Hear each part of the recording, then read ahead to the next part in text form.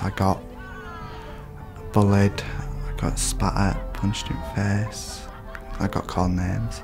I used to lay in bed and cry my eyes out. I'm Curtis Boylan, I'm 19 and I'm a performing arts student from Leeds. When I was three I got knocked down by a car.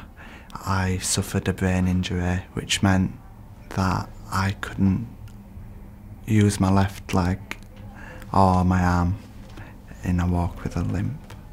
People treat me differently and they didn't think I'd be able to do anything good with my life. I got called names, a peg leg, a spaz, monger, stuff like that. It wasn't, it wasn't nice. Everyone hated me. I didn't think anyone wanted to hang around me, want to be near me. I want to stop people going through the stuff that I did. Little spaz.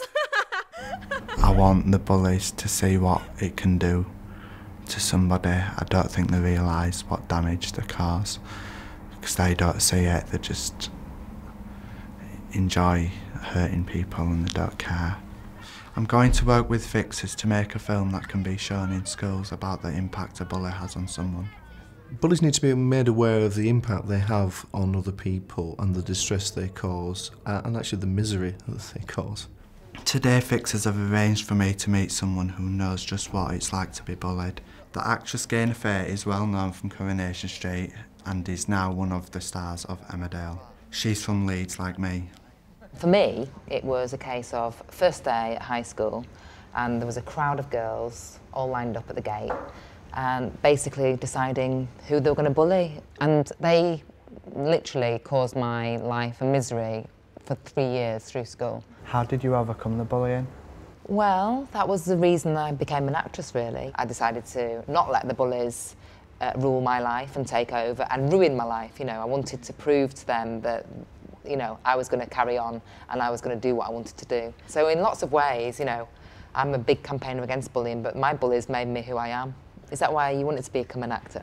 I always wanted to be an actor since I was 13. Right.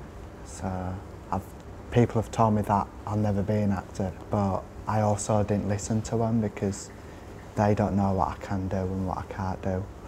Only I know that. You can use that. Use what they've said, you know, that you'll never become, because I got, that was told to me, and that gave me so much drive and so much determination to make it work.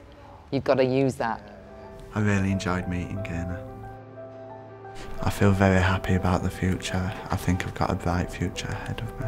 Having this chance to do something about bullying feels really good and I think it'll help a lot of people.